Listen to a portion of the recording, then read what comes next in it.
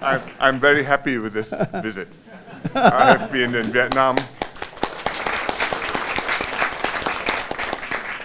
probably about 10 times over now maybe more than 20 years and seen how this country has grown, has changed, and has, is full of energy. Young people wanting to get ahead, working very hard, trying all ways to improve their lives and to take the country forward. And between Singapore and Vietnam, we have a lot of cooperation. Uh, we've had diplomatic relations this year, 50 years. We've had a, what we call a strategic partnership between Singapore and Vietnam this year, 10 years. I signed it 10 years ago on a visit here with then Prime Minister Nguyen Tan Dung.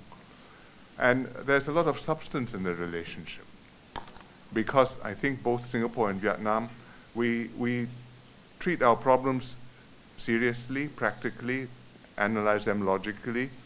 We discuss our, the possibilities for us to work together where we agree, where we disagree, uh, what we can do more, how we can overcome the areas where uh, we have different points of view. And therefore, we make a lot of progress. Uh, and therefore, the work never stops. And each time we meet, we find new areas for cooperating.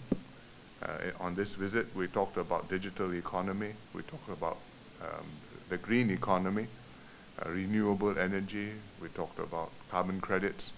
Uh, these are all very good areas for potential cooperation, and we will be following them up.